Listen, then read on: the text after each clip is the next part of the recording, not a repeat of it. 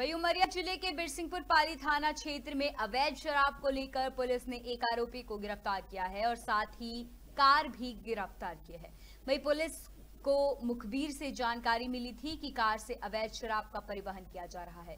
Police ने अवैध शराब की सूचना पर कार्रवाई करते हुए पाली से उमरिया तरफ़ आ रही कार को मेहता ढाबा के पास रोककर तलाशी ली। कार की जाँच में कार की डिग्गी में चार कार्टन पाए गए। जिसमें अवैध शराब पाई गई। पुलिस ने मामले में एक आरोपी को गिरफ़्तार कर अवैध शराब जब्त कर ली है। सूचना प्राप्त हुई थी थाना पाली में एक लाल रंग की Volkswagen Polo car C G पंद्रह बी इक्यासी तेईस में अवैध शराब एन एच तिरतालीस में पाली से उमरिया की तरफ़ जा रही है। सूचना पर थाना प्रभारी पाली अपने फोर्स के साथ वहाँ पहुँचे थे।